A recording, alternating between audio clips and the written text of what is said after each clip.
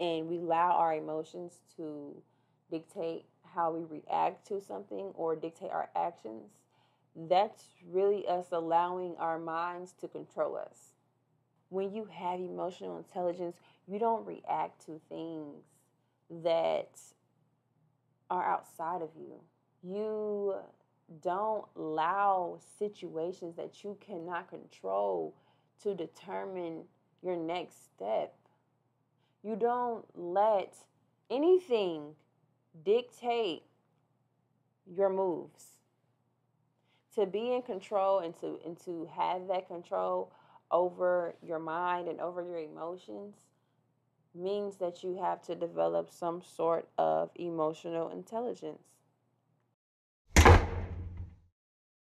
Hi, you what? It's your girl Connie, and you are back watching another episode of A Free Mind where we take back the control of our minds and our thoughts. I want to thank all my free minders for tapping in with your girl. And if you are new to the channel, make sure you like, comment, and subscribe to the channel so you're ready to tap in when it's time to tap in. Now, we're going to get straight to it, okay? As y'all can see by the title, today we are talking about emotional intelligence and how being a free minder having an awareness of your emotions is extremely important. Now, our emotions have a lot to do with us having this human experience. As we all know, we are spiritual beings having a human experience. And with having a human experience, we are able to get to experience emotions. And a part of our mind in our brain, um, parts of our mind controls our emotions and releases certain hormones that allow us to feel certain things. And within feeling these different emotions, um, sometimes we just don't know what it is exactly that we are feeling. Sometimes we can't really put um, a name to how we feel or just simply understanding why we feel some way that we feel. Now, being a free minder, having this awareness of our emotions and not allowing our emotions to dictate how we react in certain situations dictates whether or not you are really a free minder or not. Now, someone who may not be aware of this power here that we have, which is our emotions, um, may allow their emotions to control their lives. Now, we've also talked about how our minds can control our lives, our reality, in us as a whole a part of our minds doing that has a lot to do with our emotions. When we allow our emotions to just like take over how we react in a situation, everything can just go left. Like everything can go left. Things can just quickly go left and end up just chaotic in a way that we just don't want things to be. You know, like it's just so important to have emotional intelligence.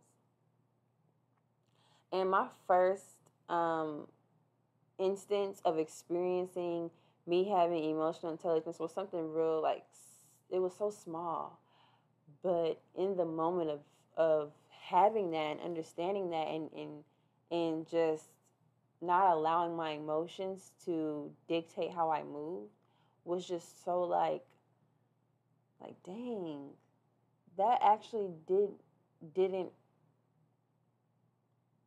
it didn't hurt me like I thought it would to not react this way. And so I'm gonna tell y'all what happened. I was at work. I was at work and um, as y'all know, if y'all don't know, I am a, a QMA. So I'm at work and and so I ended up turning in, you know, my menus that I had. And the kitchen the people in the kitchen got so angry at me because I was turning them in late, I guess. I didn't even know it was a deadline, but I turned them in late. And one of the ladies, she was like, Well, you need to just have it in at a certain time because this is just unacceptable and. And so, and to be honest, really, these menus weren't even mine. They were somebody else's, but I was turning it in for them. But I just went ahead and while they were yapping off at the mouth, normal me would have been like, um, for one, first of all, this these aren't my menus. For one, I'm turning them in for somebody, and you can watch how you're talking to me because this is not that. So that's how I would like normally respond to somebody like coming at me in a way. But in that moment, I swear I heard a voice and the voice was like, just apologize. And so I did it.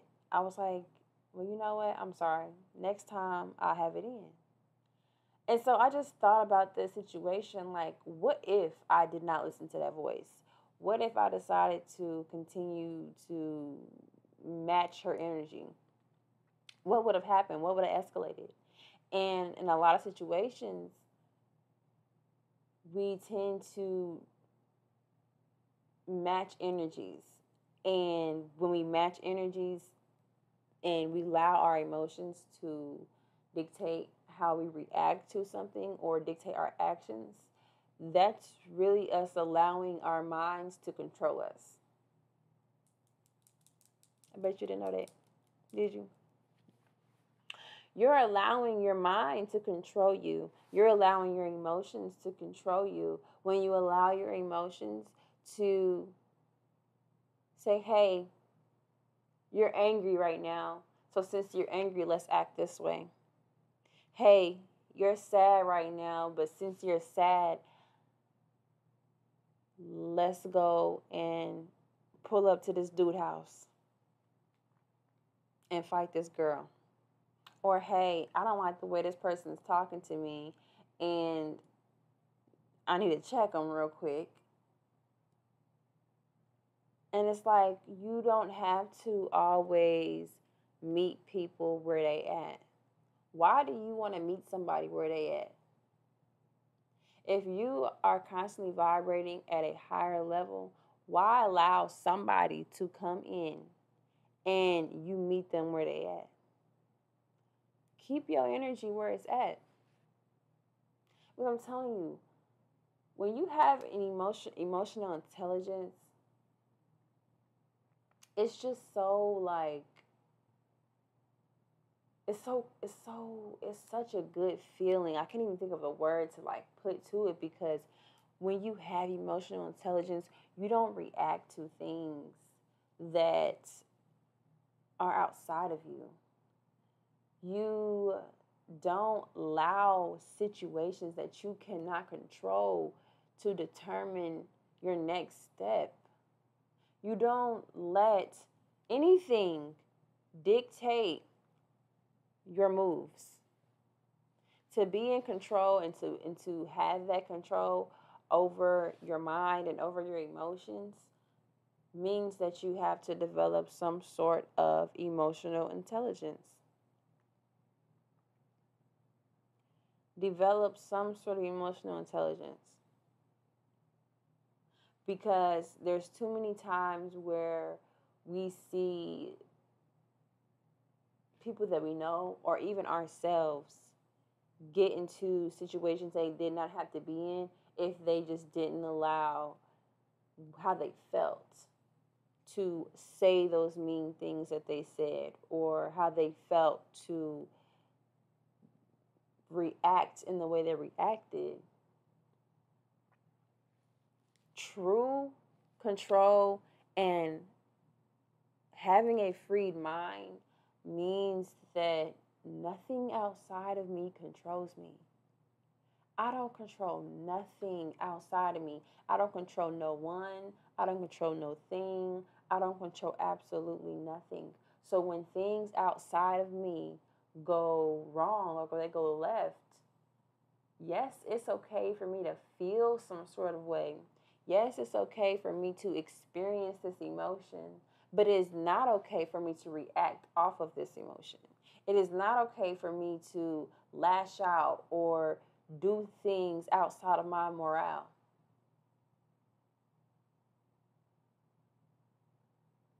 When you have a free mind, things can just be going left like crazy.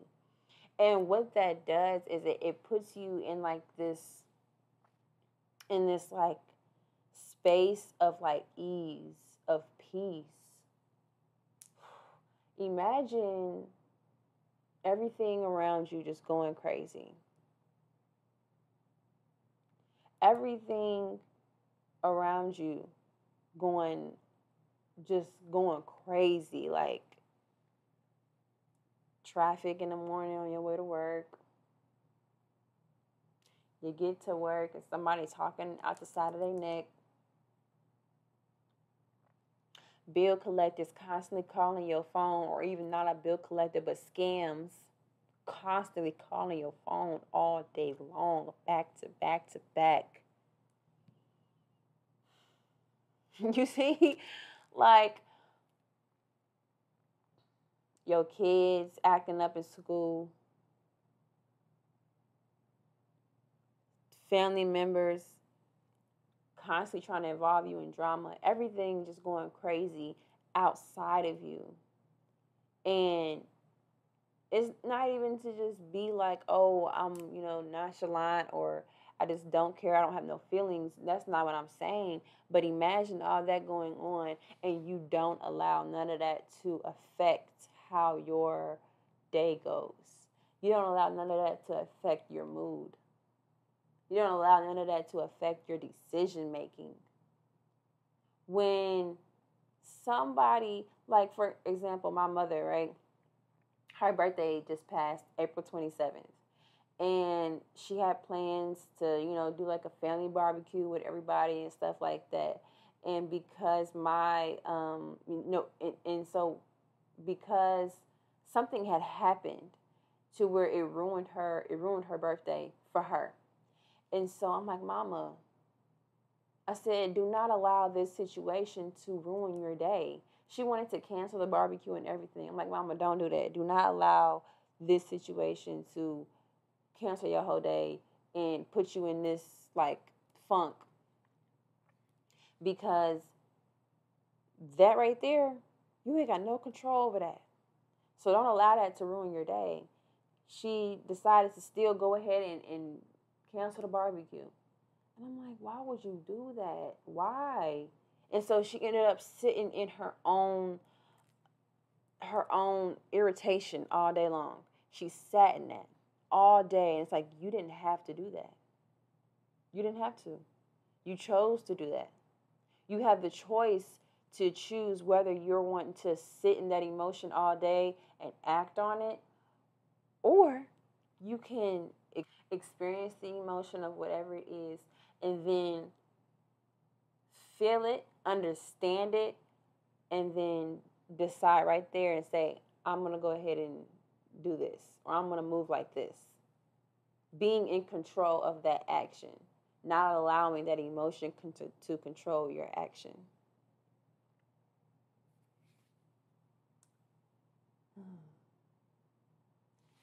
Having emotional intelligence is it is extremely peaceful. I'm telling you because when when you understand that you cannot control anything outside of you, nothing can get to you. You know how sometimes people will intentionally try to piss you off? If somebody tries to intentionally piss me off, and I and I know it, I can feel it, it doesn't work because I know what you're doing. You're you wanting to. You're wanting to get a reaction out of me. I I can't allow you some someone outside of me. I can't allow someone outside of me to control me to the point that they're that they got me feeling some type of way and now I'm acting on it. I'm not saying that it's it's not right to feel because we're human. We're, we're, going to experience emotions. But what I'm saying is is if you allow someone to make you angry or whatever, and then you act on that anger, at that point, they got your energy. They just took your energy. Why are you giving away your life energy? That is your energy. You just gave that away. Stop giving away your energy because that's yours. Like when you really sit down and think about it, it's like that is your energy and you just gave it away. Stop giving away your energy to people. Stop giving away your energy to things. Stop giving away your energy to ex- unfortunate experiences. That is your literal life force energy. You need your energy to create, to continue to live in peace. You need your energy to live. Stop giving that away to people who you're allowing to take your energy. Stop. Cut it out. Cut it out. Cut it out for real.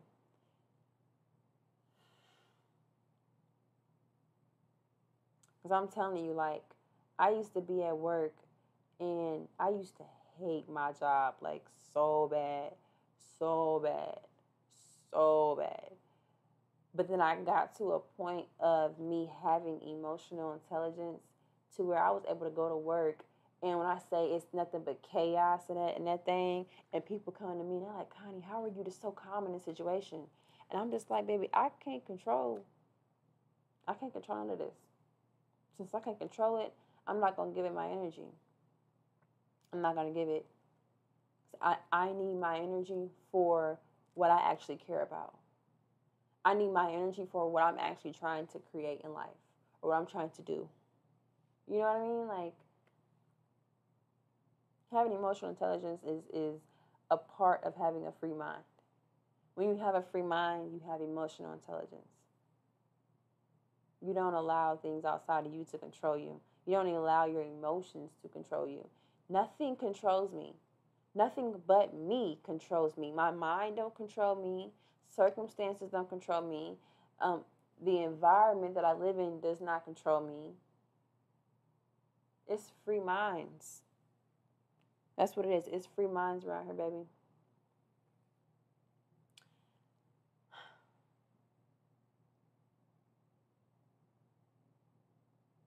It's free minds.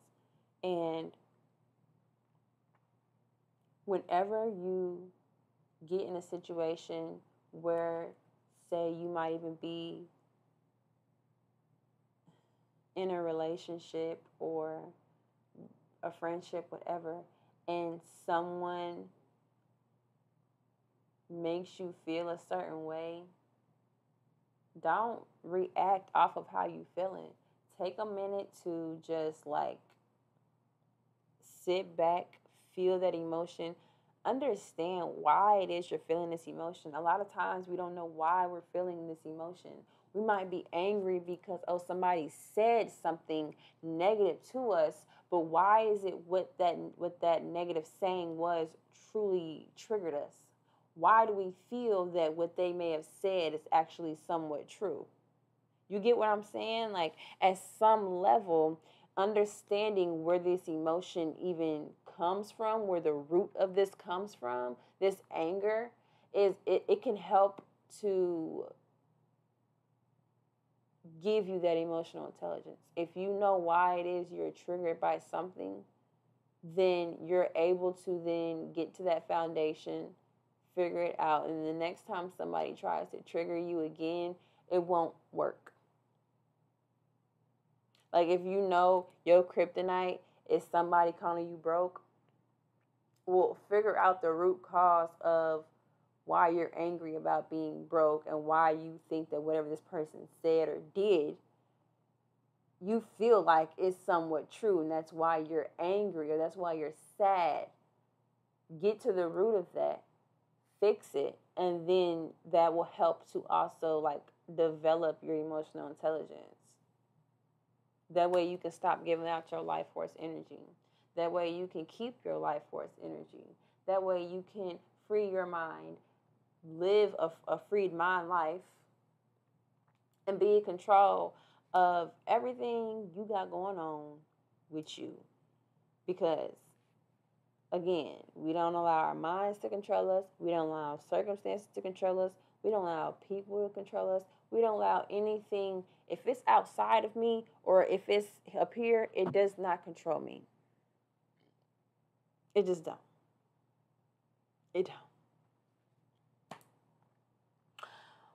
But I want to say thank you so much. If you've made it all the way to the end of the episode, I love you so, so, so, so much.